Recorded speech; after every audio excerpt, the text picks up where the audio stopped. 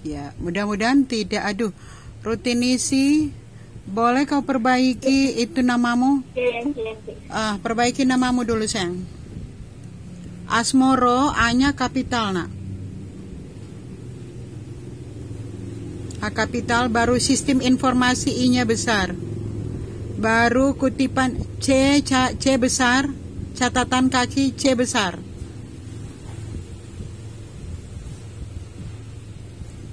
Besar, nak.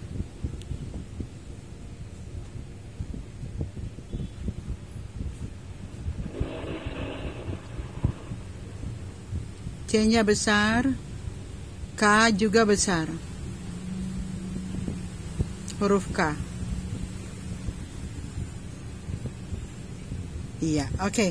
Jadi kalau penulis penulisan judul yang normal seperti tampak pada layar, di awal kata itu harus menggunakan huruf kapital kecuali kata sambung.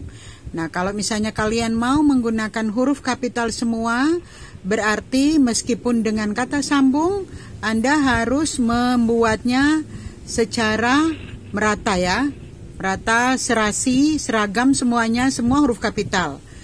Nah, kemudian sama juga penulisan nama, mengingatkan kalau penulisan nama, kalau uh, untuk menulis normal, itu huruf kapital ada di bagian awal.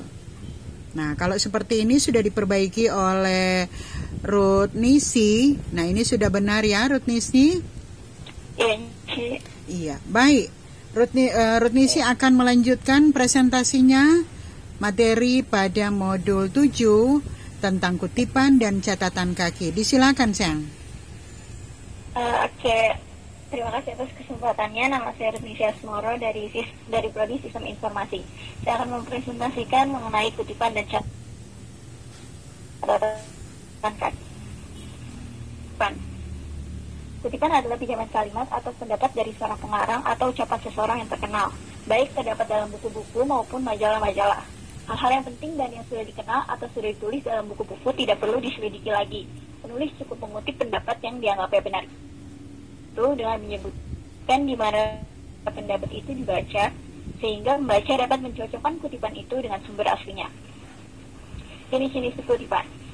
Ada kutipan langsung dan kutipan tak langsung. Kutipan langsung adalah pinjaman pendapat dengan mengambil secara lengkap kata demi kata, kalimat demi kalimat dari sebuah teks asli. Kutipan tak langsung adalah pinjaman pendapat seorang pengarang atau tokoh terkenal berupa intisari atau iktisar dari pendapat tersebut atau dapat pula berupa parafrase. Prinsip mengutip.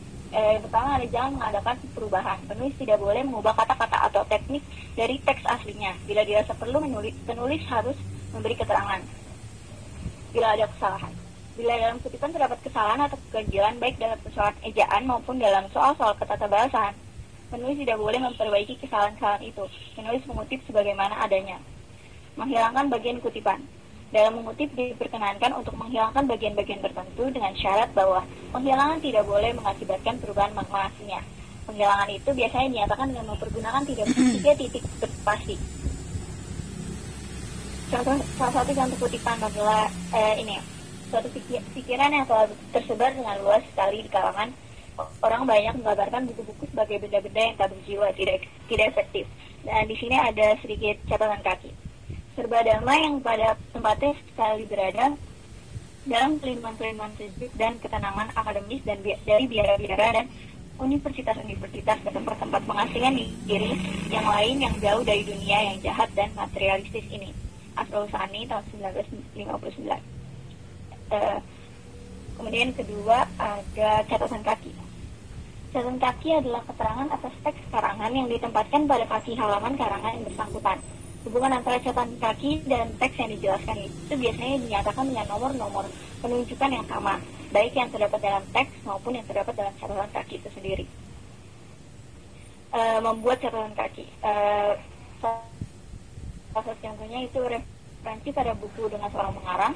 Kekerabatan umat manusia di seluruh dunia menyebabkan bahwa di dalam menganalisa suatu sistem kekerabatan dalam suatu masyarakat itu mereka memandang akan istilah-istilah itu sebagai proses-proses hubungan kemasyarakatan Demikian sistem kerabatan itu.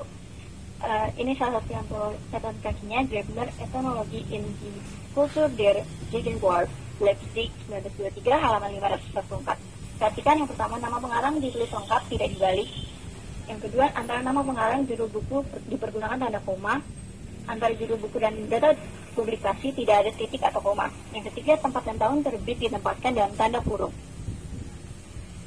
Uh, terus lalu contoh kedua sebuah terjemahan Multatuli Maksabular Apologi dalam Belanda terjemahan HB Hadasing Jakarta 1972 halaman 50.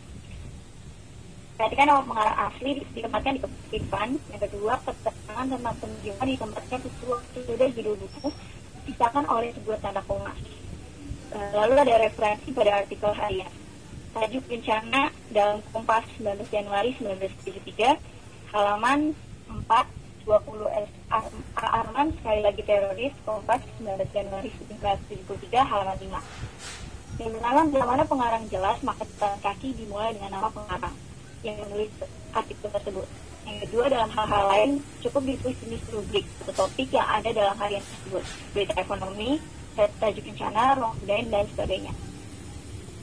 Uh, kemudian ada singkatan-singkatan. Uh, dalam artikel dalam kaki ada beberapa singkatan, namun yang paling sering digunakan adalah IBT ini, yaitu IBIT. Singkatan ini berasal dari kata Latin, Ibrahim pada sama kegiatan ini berguna bila dapat yang berikut menunjuk pada karya atau artikel yang telah disebut dan catatan nomor. Kemudian ada objek, singkatan ini berasal dari kata Latin opere yang berarti pada karya yang telah dikutip. Singkatan ini dipergunakan bila catatan itu menunjuk kembali pada sumber yang telah yang telah disebut terlebih dahulu. Ketiga adalah objek. Singkatan ini berasal dari bahasa Latin loco citato, yang berarti pada tempat yang telah dikutip. Singkatan ini biasa dipakai untuk menyebut atau menunjuk pada sebuah artikel majalah, harian atau ensiklopedia yang telah disebut sebelumnya, tetapi diselingi oleh sumber lainnya. Ya, terima kasih atas kesempatannya. Salam Merdeka Literasi. Baik, salam Merdeka Literasi. Terima kasih Retnisia.